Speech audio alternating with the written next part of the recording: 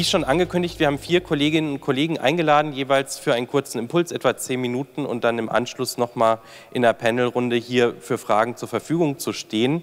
Ähm, die erste Rednerin die ich äh, gerne begrüßen möchte, ist Heike Schaumburg von der Humboldt-Universität in Berlin, dort in der School of Education, Co-Autorin einer Studie äh, für die Robert-Bosch-Stiftung zum Thema personalisiertem Lernen mit digitalen Medien und seit langen, langen Jahren beschäftigt mit dem Thema. Und ich bin sehr gespannt, was du uns dazu zu sagen hast.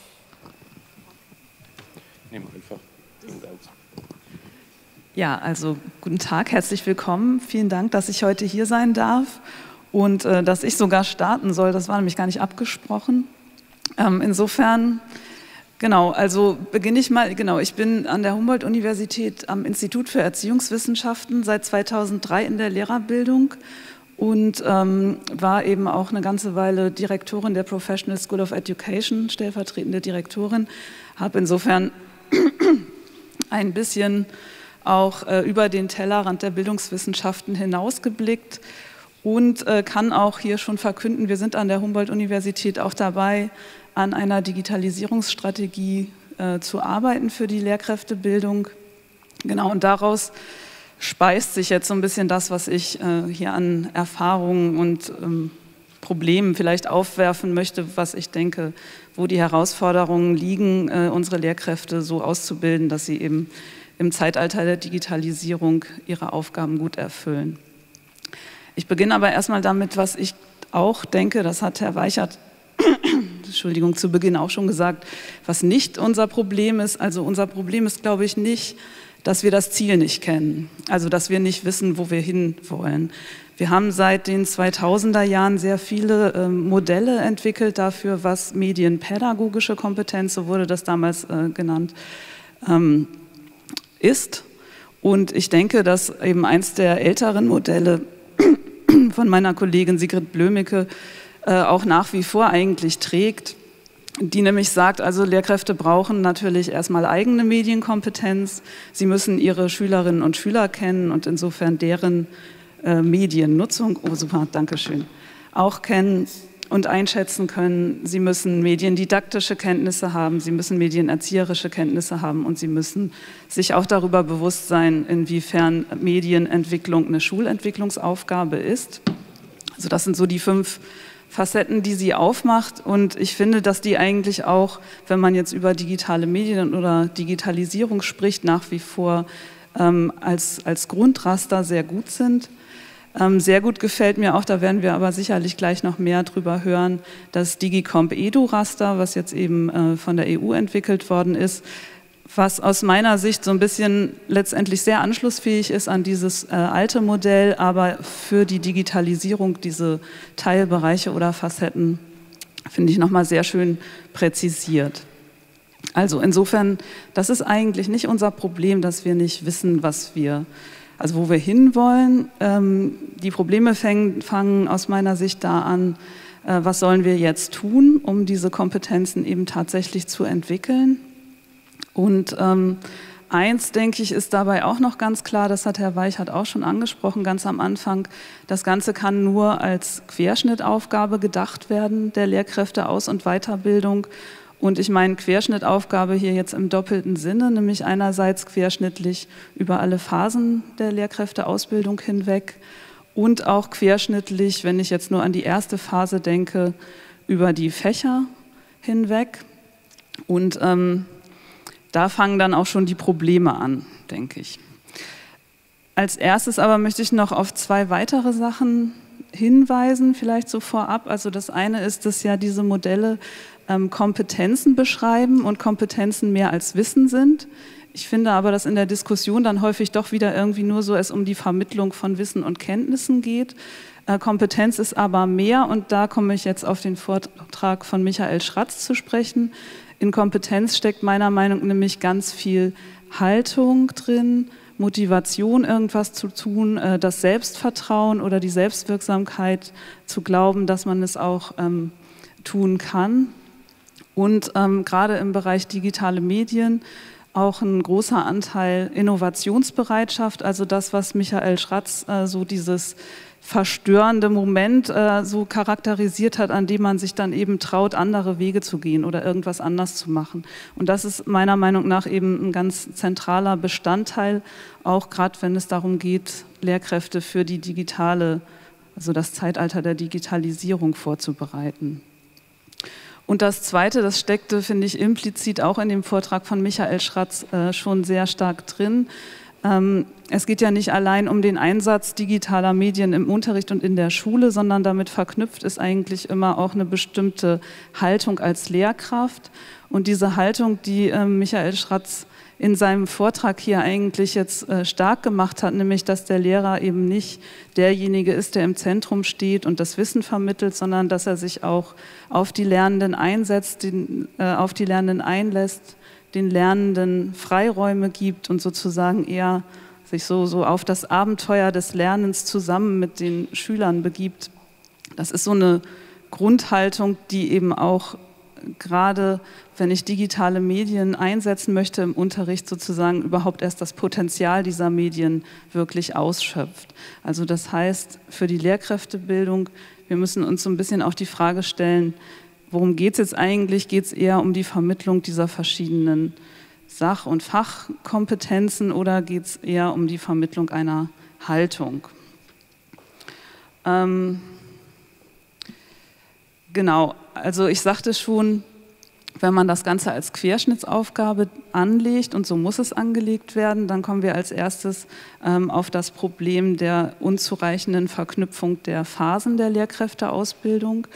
Ähm, das Ganze ist ein, ein Problem oder ein Desiderat, das formulieren wir ja nicht erst seit es die Digitalisierung gibt, schon sehr, sehr viel länger ist es, wird das als Problem formuliert, dass also die erste un universitäre Ausbildungsphase nichts vom Referendariat von der zweiten Phase weiß, dass beide auch eher mit Misstrauen aufeinander blicken und das dann irgendwie, was sich daran anschließt, ist eigentlich völlig willkürlich und hat auch keinerlei Anschluss mehr.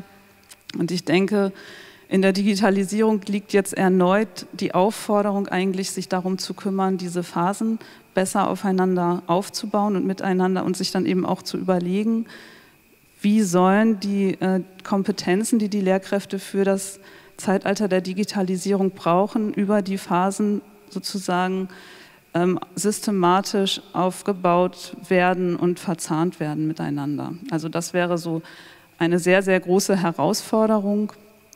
Ähm, ja, ich bin mir auch nicht sicher, ob das gelingt, aber das wäre eigentlich notwendig. Ähm, ich habe auch so ein bisschen den Eindruck, dass in den Papieren, die jetzt so bildungspolitisch erstellt wird, häufig der Ansatz immer noch ist, in alles alles reinzuschreiben. Also gerade nicht sich zu überlegen, was ist jetzt sinnvoll eigentlich, was die Leute im Studium lernen sollten, was können sie darauf aufbauend im Referendariat erwerben und was bleibt meinetwegen auch der dritten Phase vorbehalten. Also ich denke, es ist gut, dass jetzt in diesen ganzen verschiedenen Vorgaben und Papieren Digitalisierung mehr Gewicht bekommt.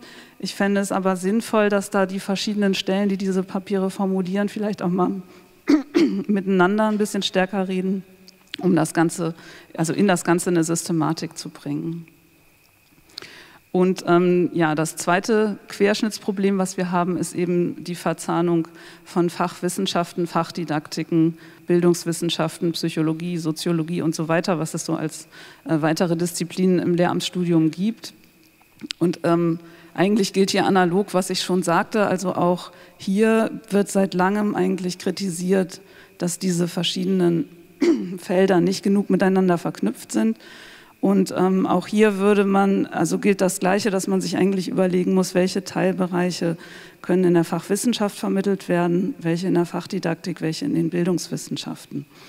Und mir ist eigentlich bisher kein Modell bekannt aus deutschen Universitäten, wo das schon zufriedenstellend gelöst ist, dass im Curriculum sozusagen dann systematische Aufteilung und Kompetenzaufbau stattfindet. Ähm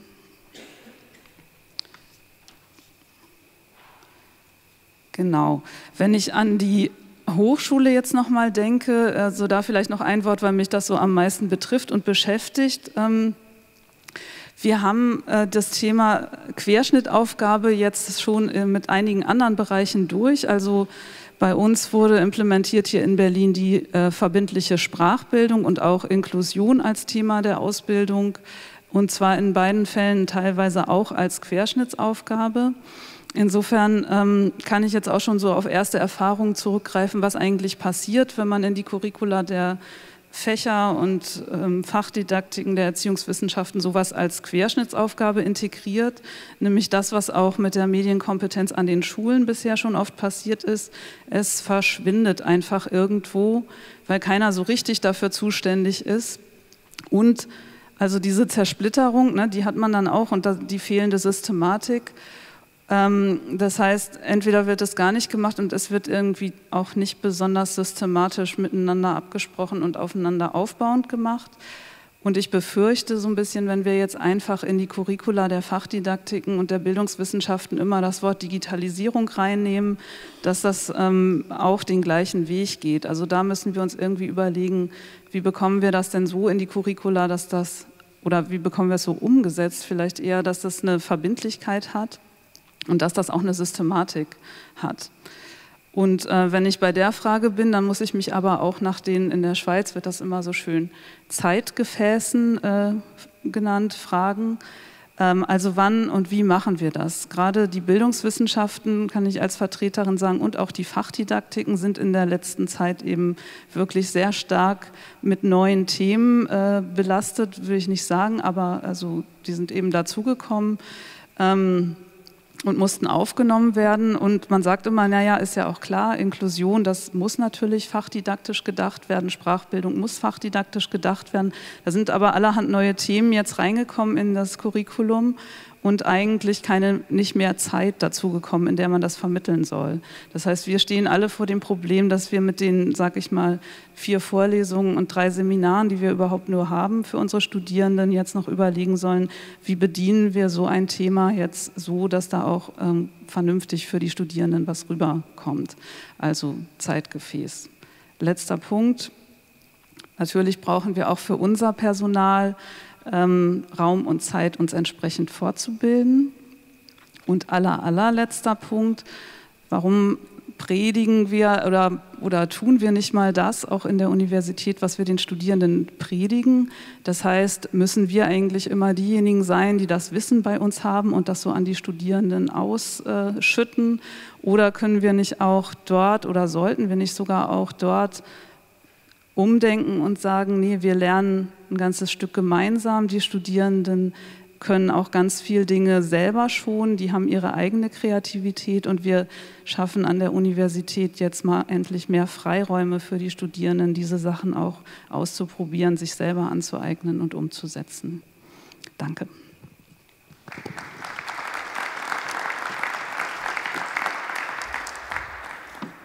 Wären wir auch wieder, da wären wir auch wieder bei den Fragen, auf die man keine Antwort hat, die Professor Schratz in seinem Vortrag erwähnt hat.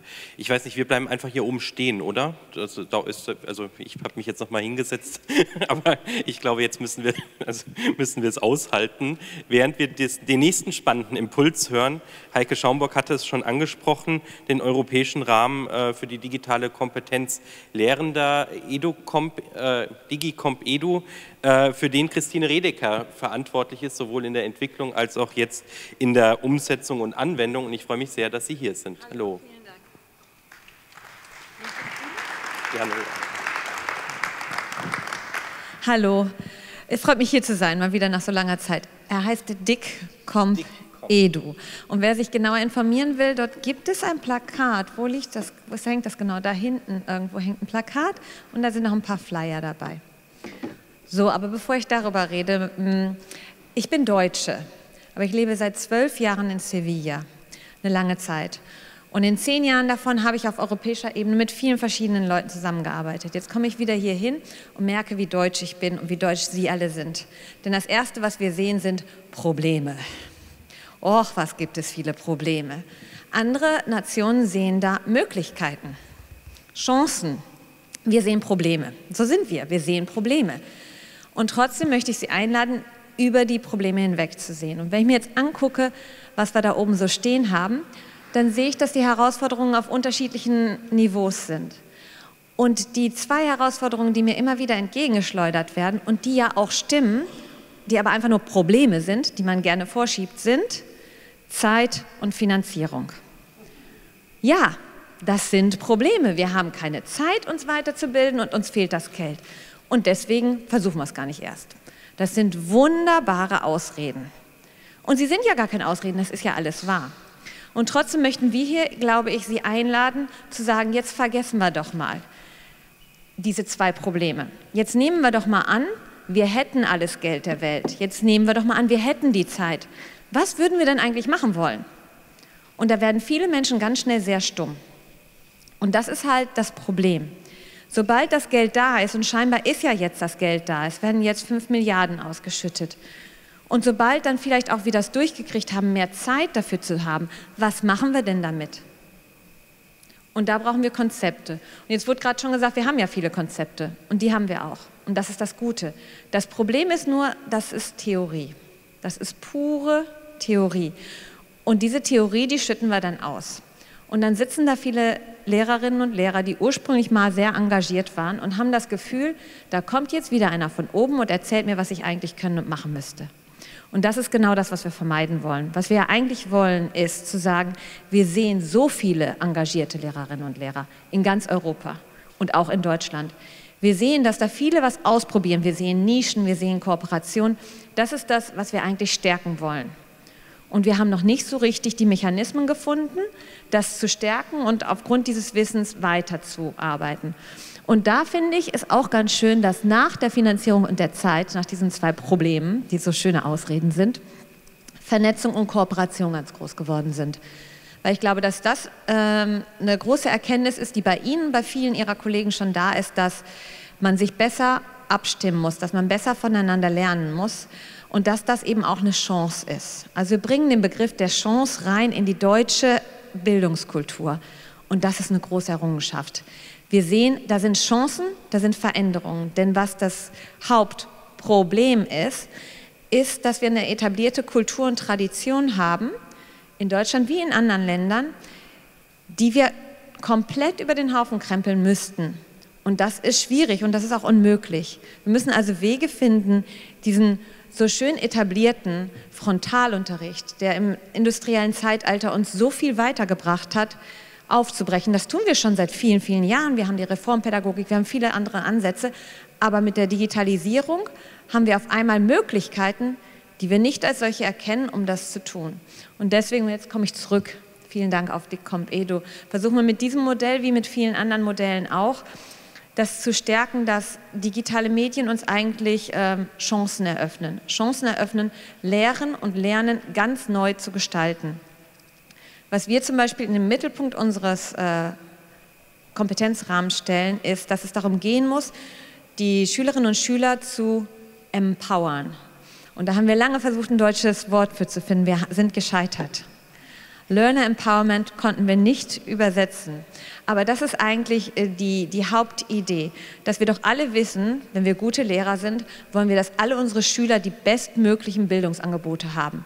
Und wir wollen diese Schülerinnen und Schüler stärken, dass sie ihr ganzes Leben lang ihre Lernerbiografie ausbauen können und weiterentwickeln können und das meist aus ihren Talenten machen müssen. Und das helfen uns digitale Medien zu tun indem sie den Unterricht aufbrechen und uns mehr Nischen, mehr Möglichkeiten geben, diese individuelle Förderung voranzutreiben.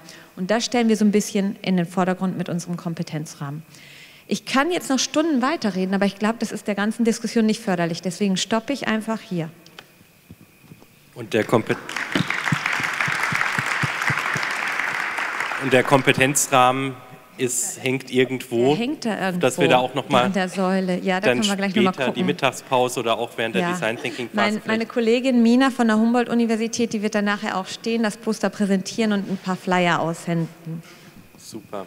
Ja, vielen Dank. Einen dritten Impuls, äh, auch mit einer europäischen Perspektive, äh, hören wir von Miriam Haug, die äh, das Erasmus Plus Evaluate Projekt vertritt und äh, unter anderem Präsidentin von Eurocall ist, einer europäischen Vereinigung zum computergestützten Sprachenlernen. So habe ich es mir zumindest übersetzt. Ich hoffe, das stimmt und ich freue mich sehr, dass Sie hier sind. Vielen Dank. ach, was bin ich froh. Ich komme nämlich, glaube ich, mit einer kleinen Lösung. Das wäre schön. Zeit oder Geld ist. Eine, eine Idee, ähm, die innerhalb dieses Erasmus Plus Evaluate Projekts ausprobiert wurde. Und es handelt sich dabei um die Idee des virtuellen Austausches. Ich selbst arbeite seit 25 Jahren an der britischen Open University. Ich bin also auch schon seit 25 Jahren weg. Und was Sie eben gerade beschrieben haben, trifft auch auf mich zu hier heute Morgen. Deswegen sage ich, ach, was bin ich froh, ich habe, glaube ich, eine Lösung, eine kleine. Ähm, und diese Lösung sitzt an der Schnittstelle von Digitalisierung, Internationalisierung und Diversifizierung. Bei dem Evaluate-Projekt, also da heißt es Evaluating and Upscaling Telecollaborative Teacher Education. Bis vor kurzem wurde noch der Begriff Telekollaboration verwendet. Inzwischen spricht man wirklich immer mehr vom virtuellen Austausch. Und ich habe am Anfang auch einige Handouts hier verteilt. Ich habe noch mehr Material, wenn Sie daran interessiert sein sollten. Es ist eine European Policy Experimentation, wo wir zum ersten Mal Hochschulen und Ministerien gemeinsam in einem Konsortium haben. Aus Großbritannien, aus Deutschland, Ungarn, Italien, Portugal und Spanien auch dabei. Und wir haben den, die Auswirkungen des virtuellen Austauschs auf Studierende untersucht, Studierende, die in einem europäischen Land eine Lehrerausbildung absolvieren. Worum geht es? Wie sieht das aus? Die Studierendengruppen mit ihren verschiedenen kulturellen Hintergründen arbeiten über einen längeren Zeitraum, mindestens sechs, acht, zehn, manchmal auch zwölf Wochen zusammen mit internationalen Partnerinnen im Rahmen einer interkulturellen Online-Kooperation. Ja, dieser virtuelle Austausch ist ein integraler Bestandteil der Studiengänge dieser Studierenden und findet in Zusammenarbeit mit den Dozentinnen und Dozentinnen statt. Äh, wie sieht das logistisch aus? Also die, die Lehrerausbilder aus den verschiedenen Ländern treten miteinander in Kontakt im Kontext des Evaluates-Projekts haben wir das äh, organisiert. Es gibt aber diese unicollaboration.eu Plattform, wo man Partner finden kann, unicollaboration.eu. Also diese Lehrerausbilder treten miteinander in Kontakt. Sie entwickeln einen gemeinsamen Lehrplan für den virtuellen Austausch ihrer Studierenden. Während des Semesters arbeiten die Studierenden beider Klassen gemeinsam online. Sie unterhalten sich über Themen mit Bezug zum Lehrplan und entwerfen zusammen Unterrichtsmaterialien und Aktivitäten. Äh, die Zusammenarbeit findet sowohl asynchron, also über Chatforen und so, äh, statt, aber auch vieles synchron über Audio-Video-Conferencing. Das heißt, die Technologie wird verwendet und erfahren während des Austauschs. Die Ausbilder sind dabei, also sie, die, sie leiten das, sie stoßen das an, besonders die synchronen Treffen. Und sie helfen den Studierenden auch dabei, die Erfahrungen, die sie während des virtuellen Austauschs machen, zu reflektieren und auszuwerten. Aber sie ziehen sich eigentlich zunehmend zurück. Also klar, der Übergang von Lehrseits zu Lernseits. Vielen Dank für die beiden Konzepte, sehr hilfreich. Am Ende erhalten die Studierenden Credit Points für ihre Leistungen, also bewertet werden Portfolios, manchmal auch Essays, Präsentationen, die die Studierenden gemeinsam mit ihren Partnern vorbereiten und halten, und zwar sowohl online als auch offline. Ja? Und die Idee ist, nachdem sie dann selbst diese Erfahrungen dieses, des virtuellen Austauschs hatten, dass es ihnen dadurch leichter fällt, in der Zukunft das auch in ihre eigenen Unterrichtskonzepte mit ihren Schülerinnen und Schülern einzubauen. Wir nennen das Experiential Modeling oder Creative Modeling. Ähm, Vorteile im Hinblick auf Digitalisierung, Internationalisierung und äh, Diversifizierung der Curricula es handelt sich ja ganz klar um eine gemeinschaftliche Form des Lernens, bei, die, bei denen sich die Studierenden regelmäßig mit Partnerinnen und Partnern aus anderen Ländern online austauschen. Also hier definitiv Lernseits. Ähm, der virtuelle Austausch ermöglicht es den angehenden Lehrkräften in einer, in einer offenen und integrativen Umgebung eigene Erfahrungen mit Online-Kommunikation in verschiedenen Sprachen und mit anderen Lernenden zu machen. Und die Teilnehmenden werden dadurch auch ermutigt, offen und positiv mit Verschiedenheit und Anderssein umzugehen. Ähm, die Methode kann auch gut zur Vor- und Nachbereitung eines Auslandssemesters verwendet werden, später mit den Schülerinnen und auch mit den Studenten und eines Auslandsaufenthaltes. Ähm, und äh, der virtuelle Austausch erleichtert es den angehenden Lehrerinnen und Lehrern, innovative Aktivitäten wie E-Twinning zum Beispiel später auch im eigenen Klassenzimmer einzusetzen. Es ist also Walking the Talk in jeder Hinsicht. Wir haben äh, insgesamt, ich, äh, wir hatten insgesamt drei, innerhalb des Projekts hatten wir 33 Virtual Exchanges, virtuelle Austausche. Insgesamt waren fünf, 52 Teacher Training Institutions beteiligt, äh, fünf Ministerien und über 1000 Studenten und Studentinnen haben die Erfahrung gemacht und sind jetzt unsere Multiplikatoren sozusagen. Ich wir schreiben gerade unseren Bericht. Das Projekt läuft noch bis Sommer 2019. Wir haben eine Unmenge von Daten. Wir haben natürlich auch sowohl qualitativ als auch quantitativ arbeiten müssen. Wenn Sie dazu gern mehr hören möchten, ich bin den ganzen Tag da. Vielleicht eine kleine Lösung des Problems. Vielen Dank.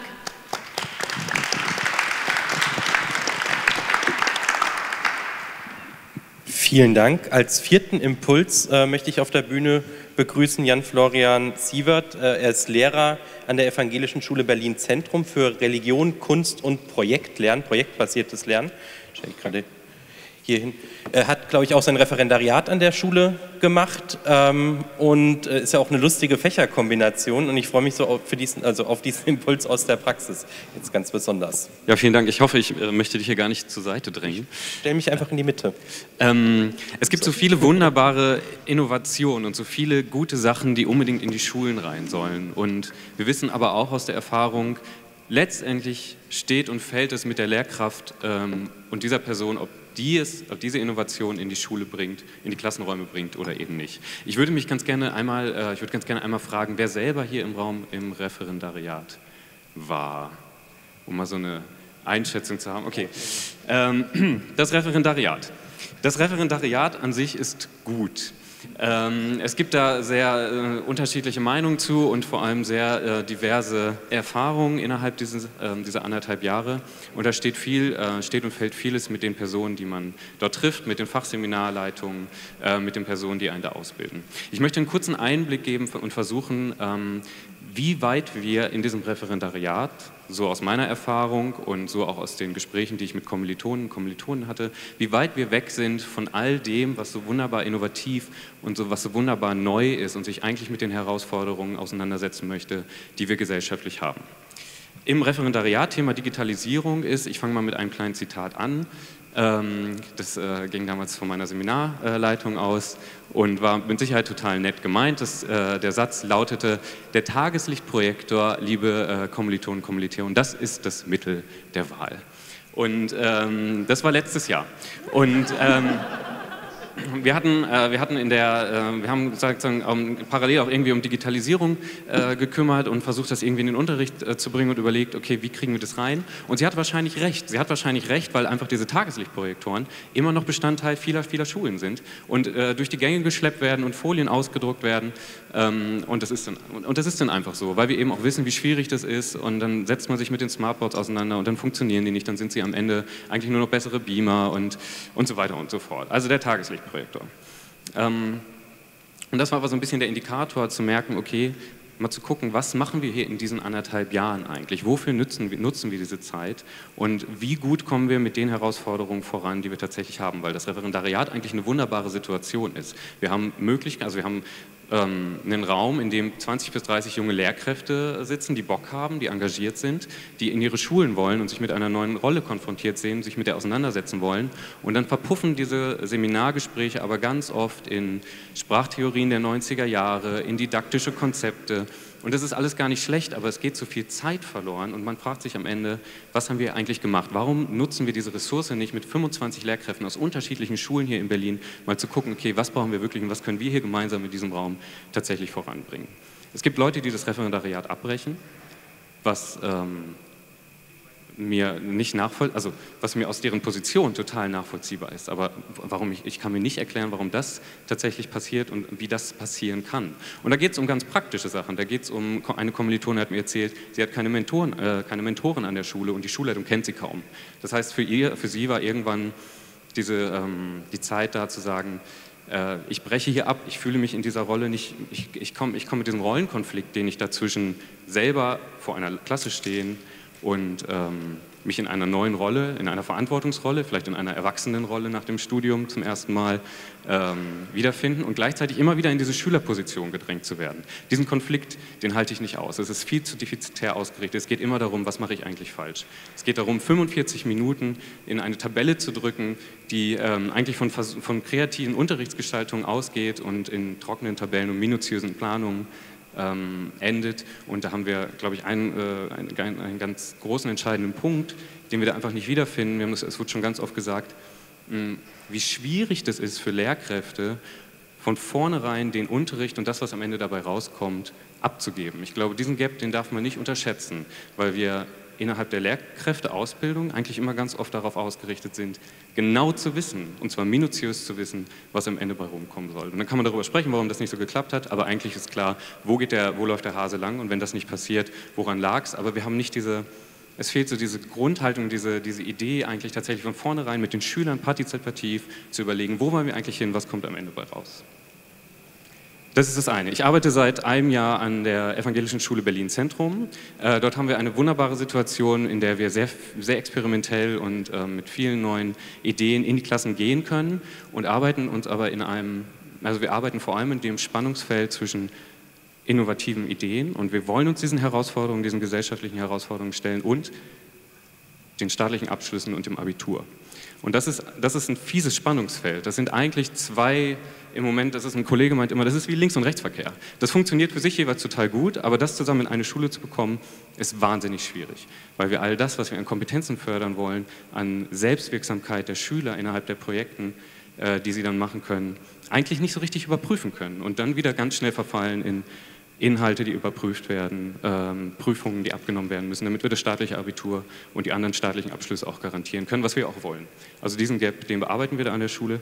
Ähm, ich finde, sehr erfolgreich, auch immer wieder mit Widerständen, auch immer wieder mit Konflikten, wie man sie aus Kollegien kennt, keine Frage. Aber ähm, da, da, passiert eine ganze Menge und ist eine ganze Menge möglich für mich als Lehrkraft tatsächlich zu agieren. Parallel arbeite ich ähm, als Vertreter des Global Goals Curriculumsvereins.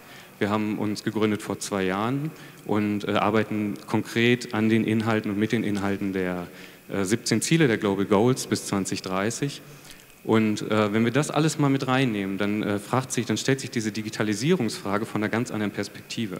Und wir merken, diese ganze Digitalisierung können wir nicht machen der Digitalisierung wegen. Das bringt uns nichts. Das bringt uns nichts, iPads zu kaufen, wenn wir die Lehrkräfte nicht haben, die damit umgehen können und wenn wir sie nur brauchen, um irgendwie bei die Schüler eine Lust zu schicken, um bei Google zu recherchieren.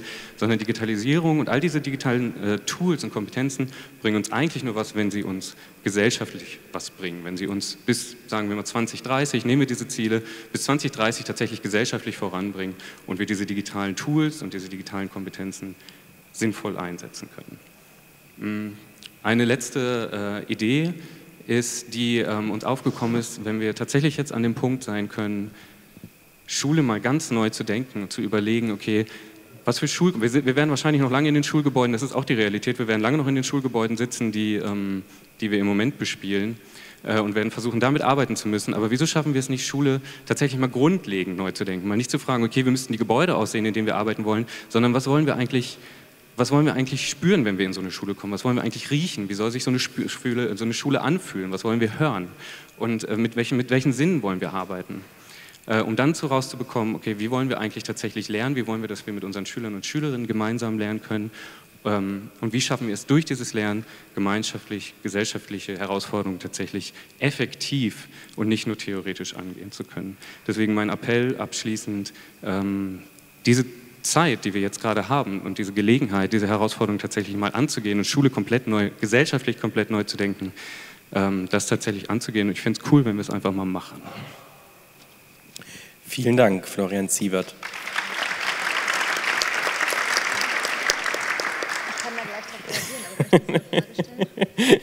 ähm, also ich wollte mich erstmal äh, verteidigen, auch so typisch deutsch, ne, für die Frage, die ich am Anfang gestellt habe, diese Problemorientierung, die ich hier mit reingebracht habe, mit den größten Herausforderungen. Dabei habe ich gedacht, ich hätte das pädagogisch so schön verpackt und von Herausforderungen gesprochen, statt von Problemen.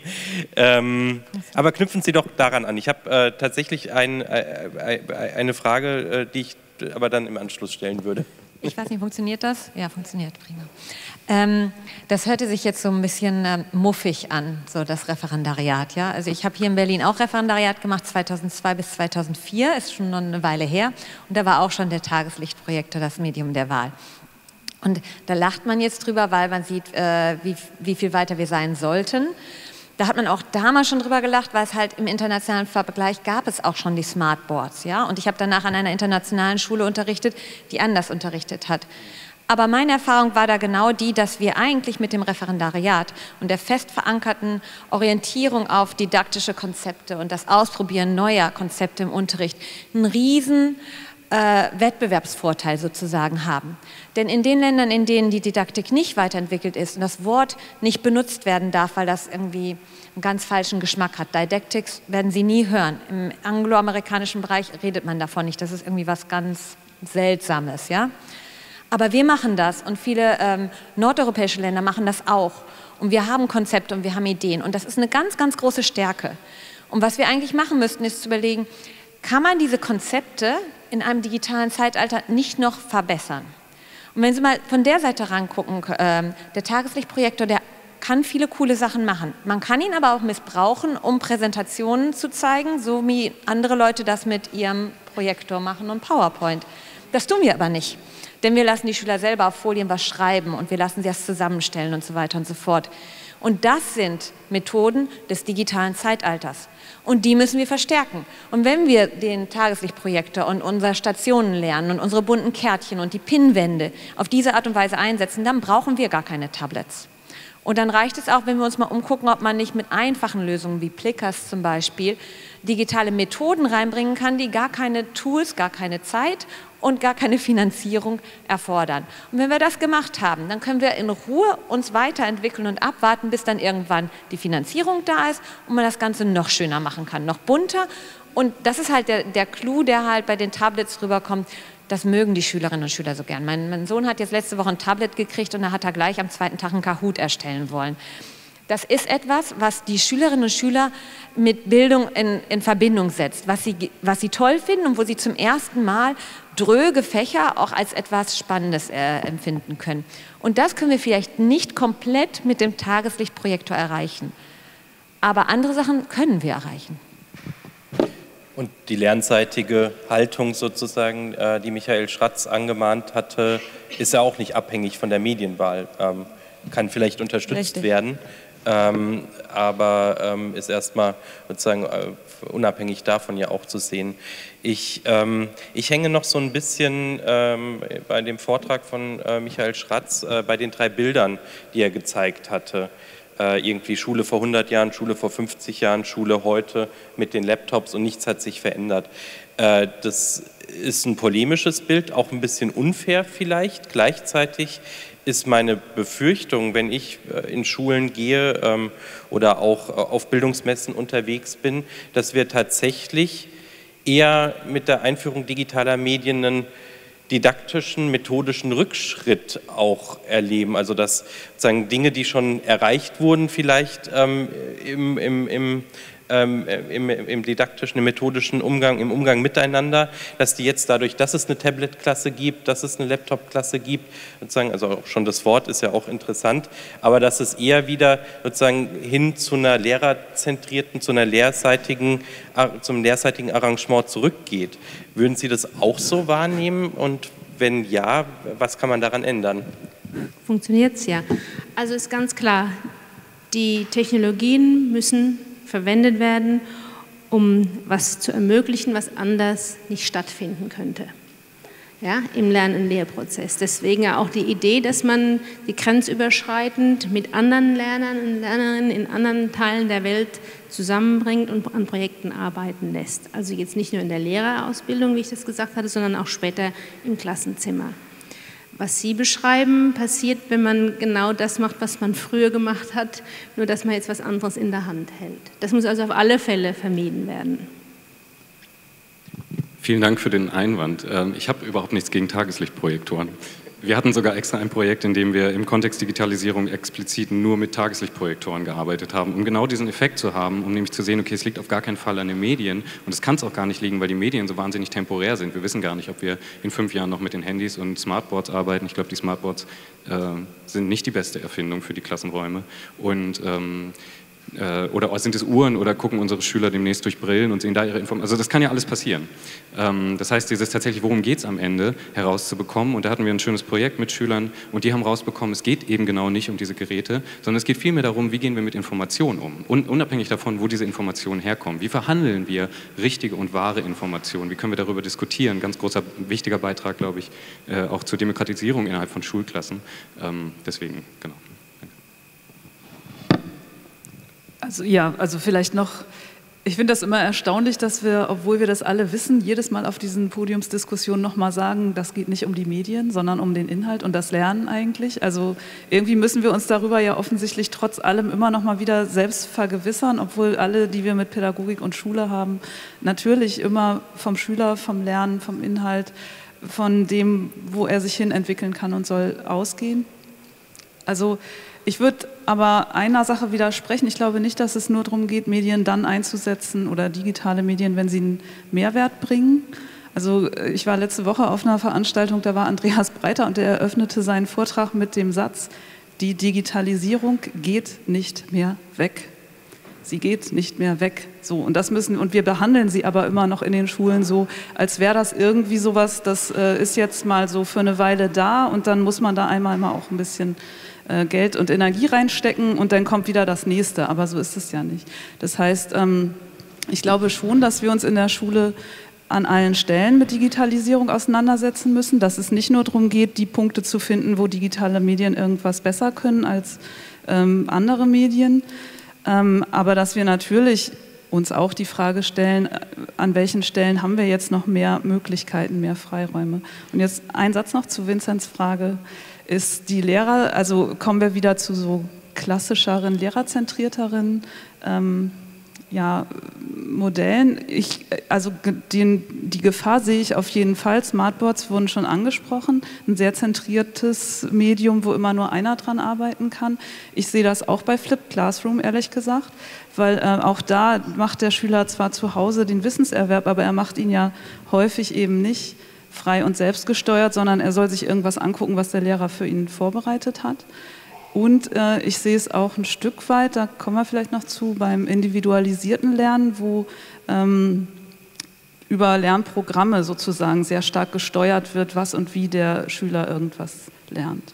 Und wo es eben auch häufig, also man sich zumindest fragen muss, inwiefern geht das jetzt hier noch darum, dass der Schüler seinen eigenen oder die Schülerin ihren eigenen Interessen folgend sich was erarbeitet oder inwiefern determiniert hier nicht ein Lernprogramm, was und wie Wissen erworben wird. Was passiert mit dem Ownership? Was passiert mit dem Ownership genau. äh, für den Lernprozess an Ganz der Stelle? Genau. Ja, ähm, ich wollte widersprechen an dem Punkt, wo Sie sagten, ähm, äh, es soll nicht nur dann eingesetzt werden, wenn es einen Mehrwert gibt. Meiner Ansicht nach sollten digitale Medien in der Tat nur eingesetzt werden mit Mehrwert ähm, und nicht um zu ersetzen. Und ich sehe in vielen Debatten noch so, als würden wir darum reden, was ist, der, was ist der Vorteil des Whiteboard gegenüber der normalen Tafel. Der Vorteil ist, dass ich nicht mehr Kreide an meiner Hose habe. Dafür habe ich aber bunte Finger. Das ist aber nicht, worüber wir bei der Digitalisierung reden. Es ist nicht ein Wechsel von einer, einem Medium, einem Gerät zu einem anderen Gerät. Und das ist, was mich so ein bisschen in der Debatte stört, weil natürlich es menschlich ist, zuerst einmal auf die Geräte zu gucken, auf das, was sich ändert im Klassenzimmer. Aber was wir natürlich, und deswegen ist es vollkommen richtig, die Digitalisierung bleibt. Aber was heißt es, dass die Digitalisierung bleibt? Das heißt, wir haben andere Formen der Zusammenarbeit überall in der Gesellschaft. Wir haben andere Formen der Kommunikation. Und zwar nicht nur, dass wir synchron und asynchron haben, sondern auf einmal reden wir auch auf andere Weisen miteinander. Ja? Und wir müssen Höflichkeit neu erlernen zum Beispiel. Ähm, diese Aspekte des gesellschaftlichen Wandels bleiben. Und es bleibt eben auch, dass wir, wenn man jetzt mal ein bisschen die Digitalisierung so ein bisschen aus dem Augen nimmt. Wir leben in einer Gesellschaft, wo dieses Modell, dass vorne einer steht und die anderen hören zu, nicht mehr klappt. Und das klappt auch deswegen nicht, weil die nicht so lange zuhören können. Das klappt auch nicht, weil die so unterschiedlich sind. Die sind viel unterschiedlicher, als das klassische industrielle Schulmodell annahm. Und die sind auch nicht mehr so höflich. Die sitzen da nicht brav einige Stunden am Stück und sagen nichts. Und das ist gut so. Wir wollen ja nicht zurück äh, in eine solche Gesellschaft. Nur müssen wir dann eben auch anders unterrichten. Wir reden anders miteinander, wir gehen anders miteinander um. Also muss Schule das reflektieren. Und da halt, sind digitale Medien halt ein ähm, Medium der Wahl, um das zu ermöglichen, dass ich halt das aufbrechen kann, dass ich in Kleingruppen arbeiten kann, dass ein paar woanders arbeiten und ihre Gruppenarbeit in einem Tablet festhalten oder so, dass ich da eben nichts anderes zur Verfügung stellen muss. Das ist mehr so das Potenzial, was ich sehe. Und ganz kurz noch, ich weiß, ich rede zu lang. Warum heißt das Ding Flipped Classroom? Und warum finden wir keine Entsprechung im Deutschen? Weil das in der internationalen Diskussion ein ganz, ganz innovatives Konzept ist. Für uns ist das ein komplett alter Schuh. Natürlich macht man im Unterricht nicht eine Vorlesung und zu Hause machen Sie die Hausaufgaben und rechnen die Aufgabe durch. Natürlich nicht. Unser Unterricht ist immer eine Kombination aus Input, Erarbeitungsphase. Wir haben das alles organisiert. Wir brauchen so ein Modell nicht. Für uns heißt das Modell nur, aha, ich kann eine andere Art von Hausaufgabe geben. Und wenn ich eine andere Art von Hausaufgabe gebe, muss ich die auch anders wieder in den Unterricht aufnehmen. Ich muss mir also ein bisschen andere Überlegungen machen. Das ist für uns ein kleiner Sprung. Ja, ich wollte noch ganz kurz auch sagen, ja, es geht ja auch, wir sagen in England, informed opting in and informed opting out. Und dazu muss man Kompetenzen äh, entwickeln, ich, ich, nenne die Multimodal Competences, von denen digitale Kompetenz eine ist. Also es ist durchaus auch wichtig, manchmal zu sagen, dafür äh, eignet sich der Gebrauch von Technologie nicht. Also nehmen, machen wir es so, wie wir es vorher auch gemacht haben. Ja? Das bedeutet nicht, dass das Digitale wieder weggeht, auf gar keinen Fall. Aber informed opting out ist genauso wichtig wie informed opting in. Ja, es sind ja auch, also ist eine Debatte, glaube ich, auf zwei unterschiedlichen Ebenen, ne, was den didaktischen Einsatz oder die Potenziale äh, von digitalen Medien in der Vermittlung äh, angeht. Der Gestaltung von, von Lernprozessen angeht, aber zum anderen auch ähm, das Lernen äh, eben in einer, ähm, es ist ja, ist ja nicht so, dass wir Schülerinnen und Schüler vorbereiten auf eine Welt, die irgendwann später kommt. Die sind ja schon längst in dieser Welt mit den ganzen Komplexitäten und Ungewissheiten, die das mit sich bringt. Äh, und das stellt natürlich auch ganz neue Fragen. Äh, was ich, woran ich gerade denken musste ähm, zum Thema Konzentration. Wir waren letzte Woche in der Schule in der Niederlande, Brennpunktschule, durchdigitalisiert. Äh, wir sind da reingekommen, es war mucksmäuschenstill, man hätte eine Stecknadel fallen hören können. Er war Lesestunde. Da haben alle Schülerinnen und Schüler in allen Räumen, wir hatten Lernfelderkonzept, in allen Räumen überall gesessen mit analogen Büchern und jeder hat ein Buch gelesen und es war komplett respektiert, dass es dort äh, wirklich eine konzentrierte Stille geben musste. Das hat mich sehr fasziniert, weil ich glaube, das ist auch ein Umgang sozusagen mit der, also mit, mit, mit äh, der zunehmend digitalisierten Welt und auch, auch vielleicht ein Umgang mit der zunehmend sozusagen sinkenden Konzentrationsspanne.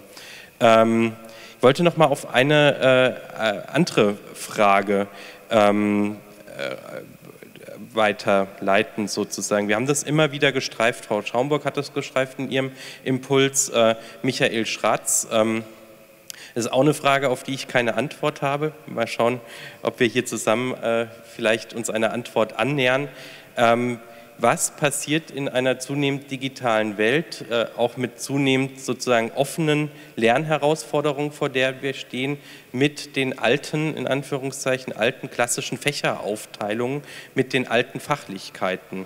Es ist ja sicherlich so, dass um diese digitalisierte Welt zu verstehen, Fachlichkeit wahrscheinlich sogar noch wichtiger ist als, äh, äh, als vieles andere. Aber gleichzeitig, ähm, und das sind ja nicht nur jetzt ähm, die Themen, die von Arbeitgeberseite oder von der Politik auf die Schulen ähm, sozusagen ähm, äh, zukommen, äh, sprechen wir auch von immer neuen sozusagen Dingen, die in der Schule erlernt werden müssten, die vermittelt werden müssten. Es gibt die digitalen Kompetenzen und so weiter. Ähm, und ich frage mich, Frau Schaumburg hatte ja auch gesagt, wie funktioniert das, wenn man sagt, das ist ein äh, sozusagen Querschnittsthema, es wird überall ähm, äh, vermittelt. Was dann passiert, ist, dass es äh, leicht hinten runterfällt. Ähm, bräuchten wir nicht ganz neue Zeiten, äh, auch ganz, ein ganz neues Verständnis von Fachlichkeit in Schule und wie könnte das aussehen?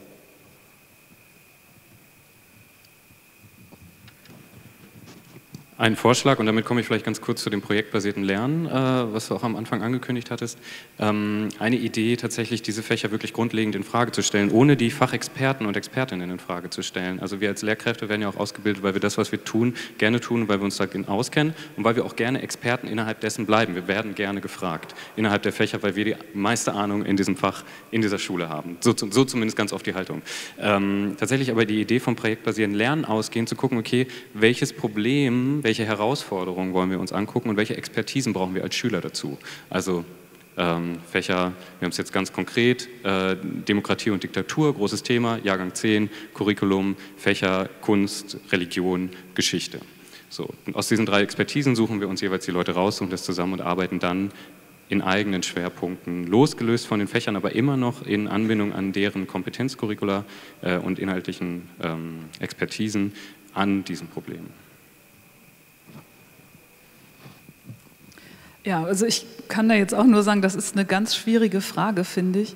Also ich ähm, auch mal so ein Beispiel aus dem Privaten. Mein Sohn, der macht jetzt nächstes Jahr die MSA-Prüfung und wir sind gerade dabei zu überlegen, was könnte er da für ein Thema machen. Und egal welches Thema uns so in Sinn kommt, was mal spannend wäre, sei es Bienensterben, sei es wie Haifische irgendwie, also wie aggressiv sind Haifische oder so, man ist äh, immer ziemlich schnell bei irgendwas, was sich nicht nur aus der Disziplin eines Fachs beantworten lässt, vernünftig. Das heißt, natürlich sind unsere Lebensweltprobleme immer äh, nicht in so disziplinären Schranken zu denken und zu lösen. Dennoch frage ich mich so ein bisschen, ob nicht, ähm, also um das also um eine Grundlage zu erwerben, sich überhaupt diesen Problemen anzunähern, ähm, so eine disziplinäre Trennung auch hilfreich sein kann. Also wenn ich sofort immer mit der Komplexität einsteige, ähm, ja, also wird es mir dann eher gelingen, dass die Grundlagen dafür zu haben, alle Probleme zu lösen?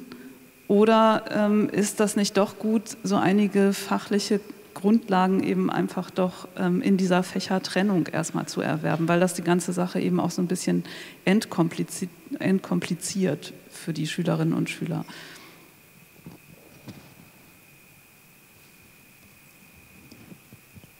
Es würde mich ja sehr interessieren ähm, mit dem äh, DICCOMP Edu äh, Framework sozusagen. Ähm, ich bin lern, lernfähig.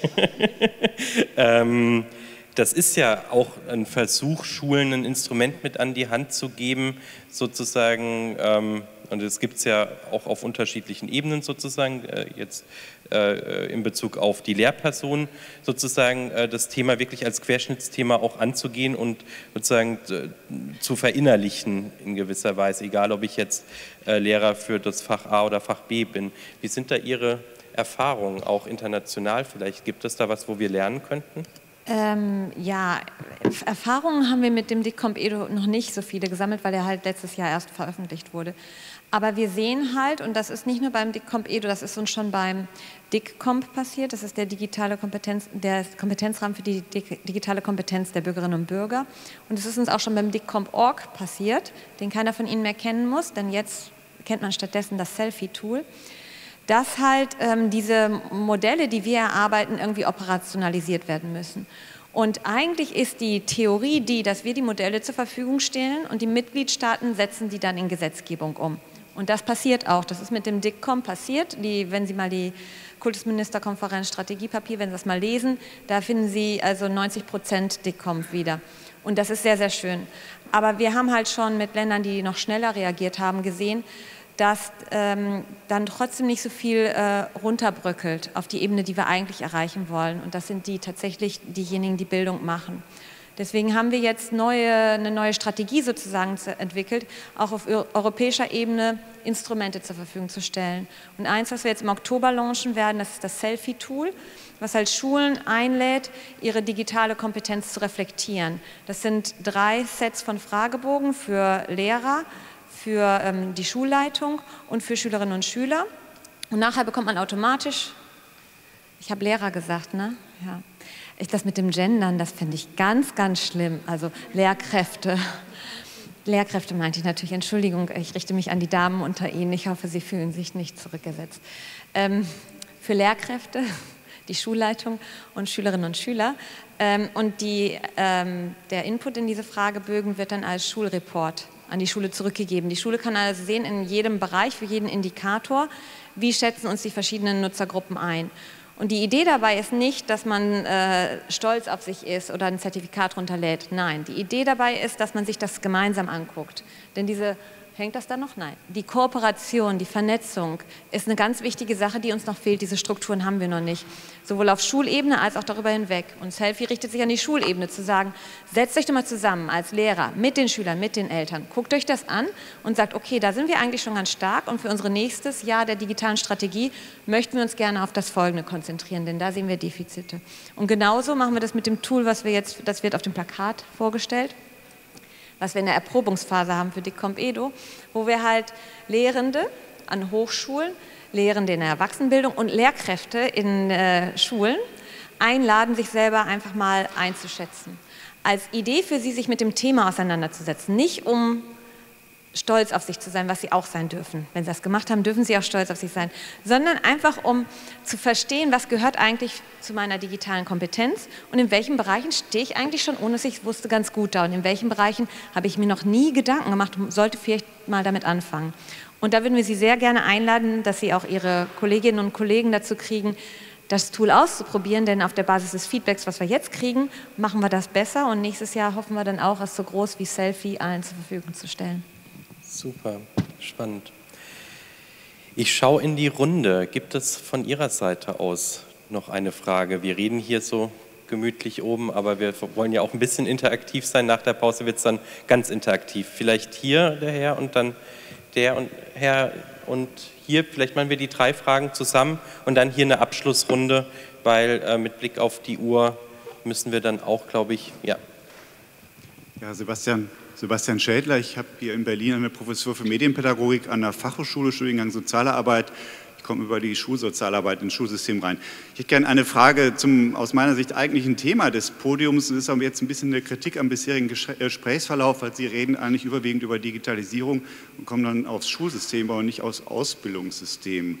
Deshalb würde ich gerne noch etwas ansprechen zum Thema Ausbildungssystem und ähm, meine These wäre, ich habe gleich die Frage dazu, dass die Hauptbremse im Ausbildungssystem eigentlich der Berufsstand als, als Struktur der Professorinnen und der Professoren ist. Weil genau da sozusagen berufssoziologisch von der Struktur her genau das nie passiert, worüber wir reden, Kollaboration, fachübergreifendes Denken, Praxisnähe und so weiter. Ja, es wird auch sozusagen strukturell nicht honoriert, weil eben alles in Richtung Forschung geht, nicht in Richtung Lehre, nicht in Richtung Praxis. Und mein Vorschlag ist, ähm, man kann sich immer was wünschen, und das geht jetzt auch in Richtung Zeit und Geld. Es gibt ja Sabbatical Forschungs Forschungssemester, wo sozusagen Professuren freigestellt werden, um überwiegend Forschung zu praktizieren. Mein Wunsch wäre eigentlich, dass es in, gleicher, in der gleichen Struktur Zeit und Geld gibt, also eine Freistellung für ein Semester, für alle Professuren, die in der Lehramtsausbildung sind, dass sie ein Semester lang einfach mal nur zuhören. 15 Wochen lang 15 Schulen besuchen dürfen, sich einfach nur reinsetzen und zugucken. Fragen sich stellen lassen, auf die sie so nicht gekommen wären. Das wäre Zeit und Geld. Da würde aus meiner Sicht sehr viel passieren, was Praxisnähe, Kollaboration und so weiter ähm, äh, beschleunigen könnte. Und das wäre meine Frage, äh, ob da jemand auf, auf dem Podium dem zustimmt. Ja, mein Name ist Thomas Koch. Ich habe eigentlich nur eine Anmerkung und eigentlich zwei. Ähm, und zwar, ich bin in der zweiten Phase der Lehrerbildung hier in Berlin, tätig als Seminarleiter.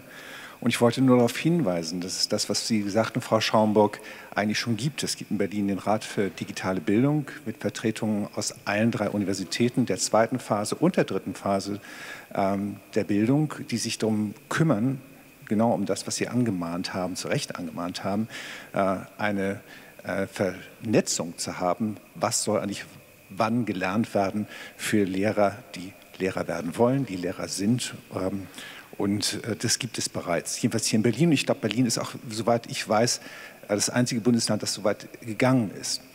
Herr Sievers, ein, an Sie noch, noch ein Kommentar. Ich kann Sie sehr gut verstehen. Ich bin ja selber Seminarleiter und ähm, es fällt mir manchmal durchaus schwer, ähm, genau abzuschätzen, äh, weil meine Referendare manchmal viel mehr wissen als ich selber in der Frage, wie kann ich digital bilden.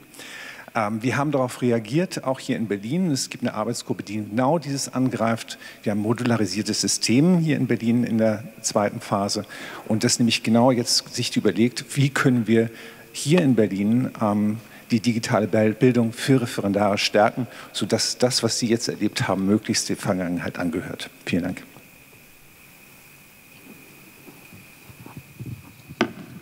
Schön an. Ja. Guten Tag, Alexander Schwed, auch aus Berlin. Ähm, ich habe äh, einen sehr breiten Hintergrund, habe unter anderem auch in der ESBZ äh, Erfahrung sammeln dürfen als Schulbegleiter, weil ich nämlich ziemlich spät angefangen habe, Psychologie zu studieren und habe früher bei Siemens äh, als Vermittler zwischen Anwendern und den Informatik-Spezialisten gearbeitet, zehn Jahre lang ungefähr. Also ich nehme für mich in Anspruch, dass ich einen guten Überblick habe oder Einblick in das Schulsystem und möchte mich da deswegen gerne zukünftig auch weiter einbringen. Ähm, mein Gedanke, meine Idee, und da interessiert mich, was Sie im Podium davon halten, ist, ähm, ich würde Schülern von vornherein zubelegen, dass sie selber entscheiden dürfen und auch sollen und dann begleitet werden durch die Lehrkräfte, übrigens Schülerinnen und Schüler natürlich, ähm, welches Medium sie für ihre Arbeit in, in dem jeweiligen Setting benutzen. Also dass sie selber entscheiden können, ob sie Paper Pencil benutzen, ob sie ein digitales Endgerät, Tablet oder Notebook, wenn es denn zur Verfügung steht, benutzen oder auch den Overhead-Projektor. Und ähm, ja, diese Freizügigkeit würde ich den Schülern so früh wie möglich geben. Und äh, das, finde ich, ist Aufgabe der zukünftigen Lehrkräfte, die jungen Menschen dabei zu begleiten, dass sie das vielleicht auch korrigierend eingreifen, dass sie da äh, eine sinnvolle Wahl treffen. Auch abhängig von ihrer eigenen Individualität. Ja, da interessiert mich Ihre Meinung. Vielen Dank für diese Anmerkungen und Fragen. Und ich würde den Impuls gerne aufnehmen, jetzt in der Abschlussrunde nochmal die Frage stellen, was bedeutet das denn für das Ausbildungs- und für das Weiterbildungssystem äh, für Lehrkräfte, was wir diskutiert haben? Äh, und äh, konkreter Vorschlag Sabbatical, um sozusagen ähm, Schulen, die in Entwicklung begriffen sind, zu besuchen, Erfahrungen zu sammeln, wäre das was, was helfen könnte. Äh, ja, Sebastian, ich stimme dir natürlich voll zu. Ich würde das nur gerne erweitern auf nicht nur die Professorinnen und Professoren, sondern auch der akademische Mittelbau sollte genauso eine Möglichkeit bekommen, ähm, ein, ein Freisemester zu nehmen, um eben einerseits sich selber fortzubilden, Praxiskontakte aufzubauen und eben genau das zu machen, was du angemahnt hast. Also finde ich einen sehr guten Vorschlag, sollten wir weiter dranbleiben, das durchzusetzen. Zu dem, ähm, zu dem Gesprächskreis, ja, ist mir bekannt, dass es den gibt. Ähm, ich muss aber sagen, so fürchterlich viel ist davon eben noch nicht an der Basis angekommen. Ich frage mich auch so ein bisschen, welches Mandat diese Kreise dann immer haben, tatsächlich irgendwas ähm, vorzugeben, was dann auch umgesetzt wird. Also wie weit dann tatsächlich äh, das, was da ich sag mal, abgesprochen wird, dann auch wirklich durchsickert bis in die unteren Ebenen und würde eben nach wie vor kritisieren, da sind wir noch nicht. Und ähm, ich habe manchmal Zweifel, dass das schnell genug geht, so alles, und ob das reicht. Und ähm, ja, letzter Punkt, äh, den Schülern freistellen. Ähm, selbstverständlich. Dazu vielleicht eine Anmerkung, auf die wir jetzt noch nicht eingegangen sind. Also Schule ist aber ja auch gerade dafür da, Schülerinnen und Schülern so Zugänge zu eröffnen zu Dingen, die sie von sich aus eben nicht äh, tun würden oder anfangen würden. Also insofern klar, alle medienpädagogischen neueren Modelle sagen das auch, dass wir also sozusagen im Medienverbund ein Angebot machen und den Schülern immer mehrere Zugänge geben. Gleichzeitig glaube ich schon, dass sowohl im digitalen wie im nicht-digitalen die Aufgabe der Schule eben auch ist, ähm, ja, Medien überhaupt aufzuschließen, sage ich jetzt mal. Und damit meine ich die analogen genauso wie die digitalen. Ähm, was die Lehrerausbildung und Weiterbildung angeht, da gibt es viele verschiedene Möglichkeiten. Da kann man tausend verschiedene Sachen machen. Ähm, aber was man halt im Auge halten sollte, ist, warum macht man das und was ist das Ziel? Und ein großes Problem, was ich halt sehe, und ich glaube, deswegen wollen Sie auch das Sabbatical haben, ist, dass wir auch da noch das Modell desjenigen haben, der das Fachwissen hat und es nur vermittelt. Dass sich also der andere passiv empfängt, was der, was der Professor als Wissensvorsprung hat.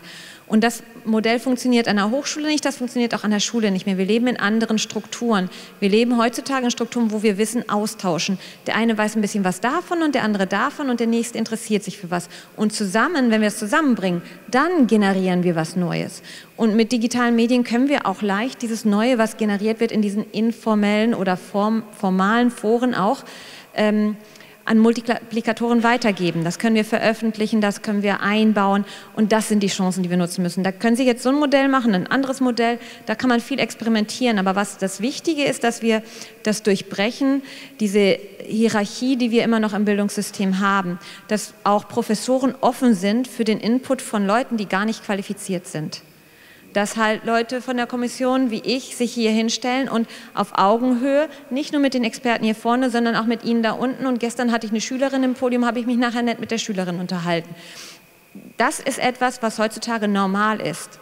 Und wo ich in manchen Bereichen nicht mehr Experte bin als mein Gegenüber, im Gegenteil. Ich lerne unglaublich viel. Und das ist das, was ich auch möchte. Ich gehe in das Gespräch, weil ich lernen will, nicht weil ich senden will.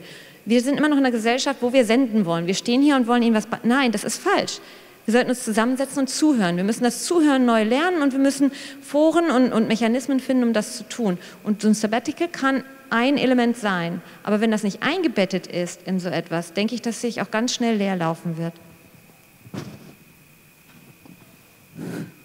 Muss auch nicht unbedingt ein Sabbatical sein. Man kann da auch anders Raum für schaffen. Ich, ein Beispiel ist ein Kollege von der PH, Professor Andreas Müller-Hartmann in, in, in, Heidelberg, der zum Beispiel in diesem Konsortium mitmacht von diesem Evaluate-Projekt. Also da gibt es schon, schon Beispiele. Ähm, ausprobieren. Man muss ausprobieren, muss ein bisschen mutiger sein, Risk-Taking und so Sachen wie das, was ich vorgestellt habe, einfach mal machen. Einfach mal machen, ausprobieren, wie fühlt sich das an. Ähm, vielleicht äh, ist man ja ganz davon überrascht, was man dabei alles lernen kann. Und wenn das hier auf offene Ohren stößt, es gibt ein Nachfolgeprojekt Evolve, das läuft jetzt im Oktober an, wenn Sie das selbst gern mal ausprobieren möchten, diesen Virtual Exchange oder wenn Sie äh, mit Studierenden Kontakt haben, die das vielleicht ausprobieren möchten, während sie in der Ausbildung sind, bitte wenden Sie sich an mich. Äh, man kann das nur für sich herausfinden, ob man dadurch sich die Kompetenzen aneignen kann, die man braucht und die man dann später auch weiter vermitteln möchte, indem man walking the talk. Ja, ich weiß auch nicht. Äh, das sind so schöne große Fragen und ich glaube, wir können da noch ewig drüber reden. Die, ähm, was ich da was ich so, gut drin finde, ist diese Idee der Professoren und was die Professorinnen machen. Das kann man ja gut ausweiten, auch dann eben, was in den Seminaren passiert, was die Fachseminarleiter, Seminarleiterinnen machen. Tatsächlich diese Vorbildfunktion, glaube ich, ernst zu nehmen. Tatsächlich das auch vorzuleben, was wir selber von unseren Schülern erwarten. Also sowohl die Lehrkräfte äh, in den Schulen als auch die Auszubildenden im Referendariat, als auch natürlich dann eben äh, die Auszubildenden im, in, an den Universitäten Aktivitäten. Das vorzuleben und äh, allen zu zeigen, das, was ich da mache, was ich vermitteln möchte und was ich bei euch eigentlich fordere, ähm, das nehme ich selber ernst. Ne? Dann kommen wir nicht in diese Situation mit, äh, wir reden über Nachhaltigkeitsziele und äh, laufen dabei mit unseren äh, Pappbechern durch die Gegend oder fahren mit dem Auto irgendwie zum Biomarkt und so. Also das ist genauso dieser Konflikt, diese Vorbildfunktion ernst zu nehmen äh, in all diesen Bereichen. Ja. Vielen Dank äh, den Expertinnen, dem Experten hier auf dem Podium. Vielen Dank Ihnen.